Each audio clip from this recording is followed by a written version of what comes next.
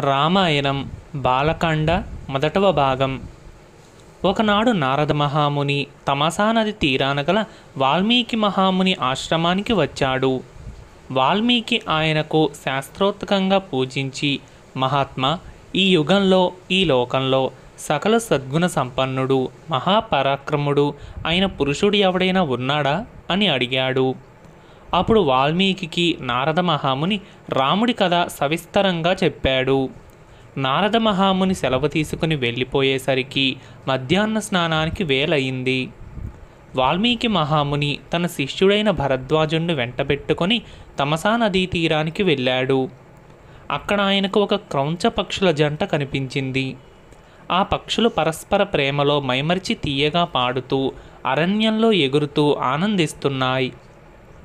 నారబట్టలు కట్టుకొని నీటిలోకి దిగబోతూ వాల్మీకి ఆ పక్షుల ఆనందోత్సాహాన్ని చూస్తున్నంతలో ఒక బోయవాడు బాణంతో మగపక్షిని కొట్టాడు. అది కింద పడి గిలగిలా తన్నుకున్నది. ఆడపక్షి అర్తనాదాలు చేసింది. వాల్మీకి హృదయంలో ఆ పక్షిపైన జాలి కిరాతకుడిపైన ఆగ్రహము తన్నుకొని వచ్చాయి. వెంటనే ఆయన బోయవాడితో ఇలా అన్నాడు.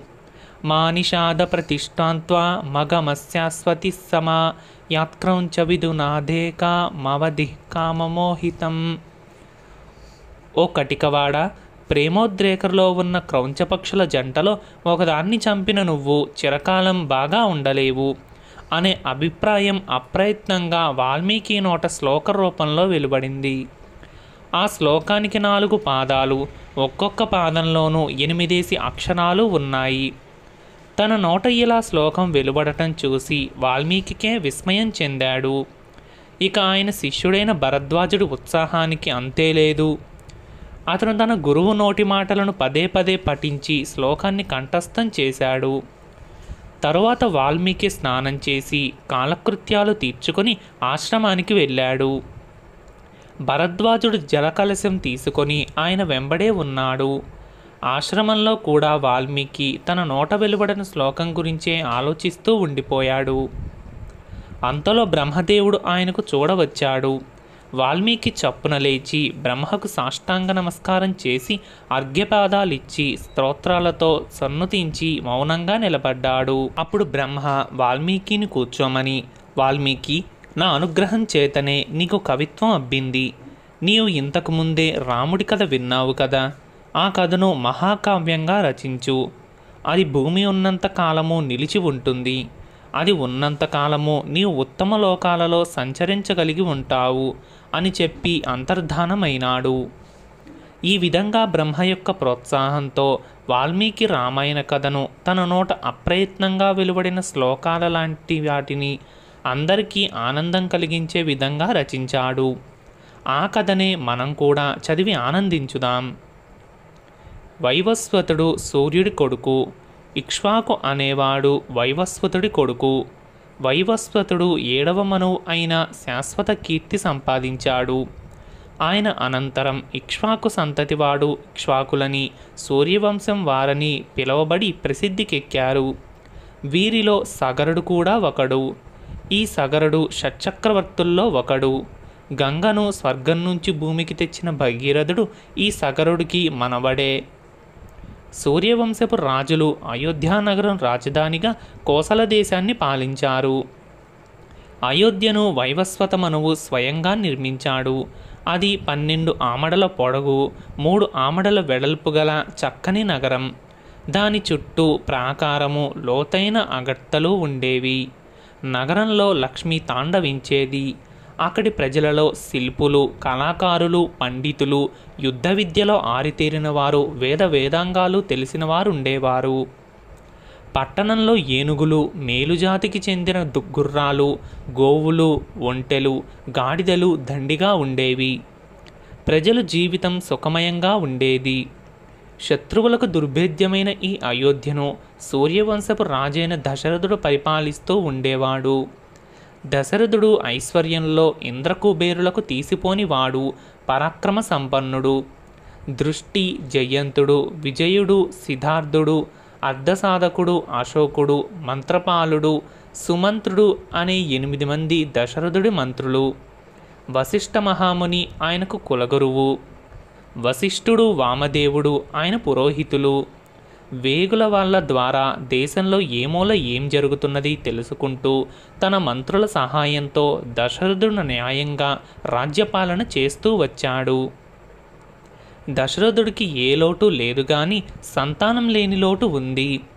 ఆయనను బాధించేది ఒక ఒకనాడాయన అశ్వమేధయాగం చేసి దేవతలను మెప్పించి వారి అనుగ్రహంతో సంతానం పొందుదామని ఆలోచించి తన మంత్రులలో అగ్రగణ్యుడైన సుమంత్రుడి ద్వారా వశిష్ఠ వామదేవులను సయజ్ఞును జాబాలి మొదలైన గురువులను ఇతర బ్రాహ్మణ శ్రేష్ఠులను పిలిపించి వారి సలహా అడిగాడు. అశ్వమేధ యాగం చేసే ఆలోచన వారు మెచ్చుకున్నారు. వారందరూ వెళ్ళినాక దశరథుడితో సుమంత్రుడు మహారాజా మీరు తలపెట్టిన అశ్వమేధ యాగాన్ని జరిపించటానికి ఋష్యశృంగుణ్ణి మించినవాడు లేడు. అతను వృత్తాంతం చెబుతాను వినండి అంటూ ఈ కథ చెప్పాడు. అంగదేశాన్ని పరిపాలించే రోమపాదుడు దశరథుడి మిత్రులో ఒకడు. రోమపాదుడు అన్యాయంగా పరిపాలించడం చేత అంగదేశంలో భయంకరమైన కరువు సాగింది. రోమపాదుడు ఆ కరువు చూసి దిగులు చెంది బ్రాహ్మణులను పిలిపించి కరువు తొలగిపోయే ఉపాయం చెప్పమన్నాడు. మహా మహారాజా విభాండక మహాముని ఋష్యశృంగుడనే కుమారుడున్నాడు. అతను ఉండే చోట కరువు ఉండదు. ఎలాగైనా అతన్ని అంగదేశానికి రప్పించి సకల మర్యాదలు జరిపి తమ కుమార్తె అయిన శాంతనిచ్చి పెళ్ళి చేసి అంగదేశంలోనే ఉంచుకున్నట్లయితే కరువు కాటకాలు పోయి దేశం సుభిక్షంగా ఉంటుంది అని బ్రాహ్మణులు చెప్పారు. అప్పుడు రోమపాదుడు తన పురోహితులను మంత్రులను పిలిచి మీరు వెళ్ళి ఋష్యశృంగ మహాముని ఇక్కడికి తీసుకురండి అని ఆజ్ఞాపించాడు. ఆ మాట విని పురోహితుడు మంత్రులు భయపడ్డారు.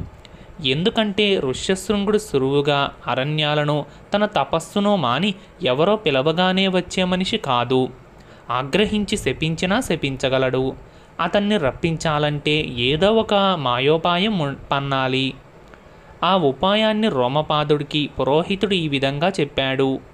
మహారాజా ఋష్యశృంగుడు పసితనం నుంచి అరణ్యంలోనే ఉండి వేదాధ్యయనంలోనూ తపశ్చర్యలోనూ జీవితం గడిపిన వాడు.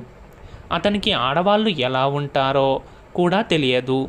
మనం కొంతమంది వేశ్యలను అలంకరించి పూలు పెట్టి సుగంధాలు వెదజల్లేలాగా తయారు చేసి పంపినట్లయితే వారు సులువుగా ఋషశృంగుణ్ణి ఆకర్షించి తమ వెంట తీసుకురాగలరు. రోమపాదుడు ఇందుకు సమ్మతించి కొందరు వేశ్యలను చక్కగా అలంకరింపజేసి ఋష్యశృంగుడి ఆశ్రమానికి పంపారు. వారు ఆశ్రమం వెలుపల ఉండి ఋష్యశృంగుడు ఎప్పుడు కనిపిస్తాడా అని వేచి ఉన్నారు. ఆ ఋష్యశృంగుడు ఎప్పుడు తండ్రికి శుశ్రూషలు చేస్తూ ఎన్నడూ ఆశ్రమం దాటి వెళ్ళేవాడు కాదు. అలాంటి ఒకనాడు అతను ఎందుకో ఆశ్రమం దాటి వచ్చాడు. వెంటనే వేశ్యలు పాటలు పాడుతూ అతన్ని సమీపరి సమీపించారు. వారి అందమైన ఆకారాలు అలంకరణలు పాటలు సావ్యమైన గొంతులు విని ఋష్యశృంగుడు ఆశ్చర్యపోయి ఆకర్షింపబడ్డారు. కానీ వారు స్త్రీలని కూడా అతనికి తెలియదు. వేశ్యలు అతన్ని సమీపించి ఓ బ్రాహ్మడ నీవెవరు? ఎందుకీ అరణ్యంలో ఒంటరిగా తిరుగుతున్నావు? అని అడిగారు. నేను విభండక మహాముని కొడుకును. అదే నా ఆశ్రమం. మీరు ఆశ్రమానికి వచ్చినట్లయితే మీకు విద్యుక్తంగా పూజ చేస్తాను అని అన్నాడు. వారు అతని వెంట ఆశ్రమానికి వెళ్ళి అతనిచ్చిన కందమూలాలు ఫలాలు తిన్నారు. అక్కడ ఎక్కువసేపు ఉంటే విభండకుడు శపిస్తాడని భయపడి వేశ్యలు వెళ్ళిపోతూ అతన్ని తమ వెంట తెచ్చిన భక్ష్యాలిచ్చి ఇవి మా పళ్ళు వీటిని కూడా రుచి చూడు. ఇక మేము వెళ్ళి తపస్సు చేసుకోవాలి. అంటూ ఋషశృంగుణ్ణి ఆలింగనం చేసుకొని ఆశ్రమం దాటి వెళ్ళిపోయాడు. ఋష్యశృంగుడు వారు పెట్టిన భక్ష్యాలు తిని అవి పళ్ళే అనుకున్నాడు. అయితే అవి తాను తినే పళ్ళ కంటే చాలా రుచిగా ఉన్నాయి. అలాగే తన ఆతిథ్యం స్వీకరించిన వారు మామూలు మనుషుల కంటే చాలా అందంగా ఉన్నారు. అతను వారిని మరవలేక ఆ రోజల్లా వికలమైన మనస్సుతో గడిపాడు. మర్నాడు వారు కనిపించవచ్చన్న ఆశతో కిందటి రోజు వారు కనిపించిన చోటికే వెళ్ళాడు. అతన్ని చూడగానే వేశ్యలు తమ పని నెరవేరిందనుకున్నారు. వారు అతనితో అయ్యా నీవు కూడా మా ఆశ్రమానికి రా. అక్కడ నీకు చక్కగా మర్యాద చేస్తాము అని అన్నారు.